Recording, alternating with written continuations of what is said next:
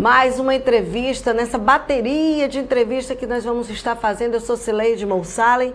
Mais um programa Passando a Limpa aqui através da TV CM7. É a hora que você tem para analisar o seu candidato, seu pré-candidato, analisar as pessoas que irão participar dessa campanha tão importante para Manaus. 60% dos votos hoje são das mulheres. Você tem que votar consciente não venda o seu voto, não barganhe o seu voto, não negocie o seu voto, escolha seu candidato. Você está tendo oportunidade toda quinta e toda sexta para você, mulher, que se sentir ameaçada de alguma forma ou algum político tentar comprar teu voto, olha, fogo neles.